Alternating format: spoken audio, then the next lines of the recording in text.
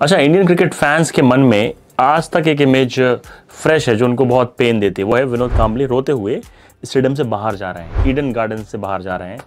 और मैं किस मैच की बात कर रहा हूँ? मैं बात कर रहा हूँ 1996 सेमीफाइनल इंडिया वर्सेस श्रीलंका जिस मैच को अबेंडन करना पड़ता है बीच में ही क्राउड की वजह से। और मैच को गिफ्ट कर दिया जाता है लाइक फॉरफिट कर दिया जाता है। किसके फेवर में?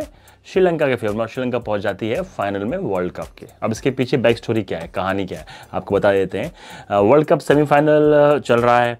इंडिया में मैच है कोलकाता में। पूरा स्टेडियम पैक्ड है। कम से कम लाख आदमी होगा स्टेडियम में।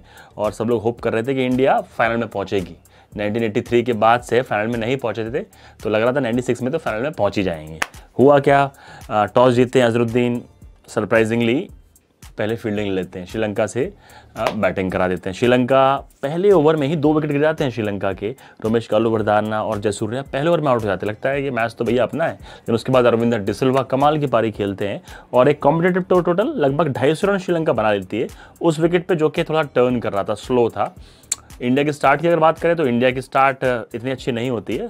सिद्धू जल्दी आउट जाते हैं। लेकिन उसके बावजूद सचिन तेंदुलकर, जो कि अपने प्राइम में थे उस टाइम 98 रन बना बना लेती है टीम टीम इंडिया तेंदुलकर तो पैंसठ पे आउट होते हैं, लेकिन 98 फॉर वन इंडिया की पोजिशन और 98 से वन से सीधे 120 फॉर एट हो जाता है। जब तेंदुलकर आउट होते हैं 65 में, उसके बाद से पूरी टीम क्रम्बल कर जाती है।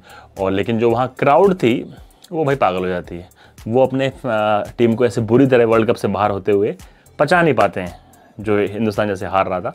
और बोटल्स फेंकना अंदर चालू कर देते हैं प्लेयर्स को लगती है। लाइक श्रीलंकन प्लेयर्स को बाउंड्री पे लगातार बोटल्स फेंक के क्राउड मारने देती है। रेफरी आते हैं क्लाइव लाइट और मैच को गिफ्ट कर देते हैं अबेंडन करके फॉरफिट कर देते हैं। किसके फेवर में? श्रीलंका को और श्रीलंका पहुँच जाती है फाइनल में। तो ये रीज़न था कि श्रीलंका और इंडिया का मैच ऐसे बीच में रुकना पड़ा और श्रीलंका को विनर घोषित करना पड़ा। इस वीडियो की अगर बात करें तो this video was powered by Daddy Bet dot com India number one gaming platform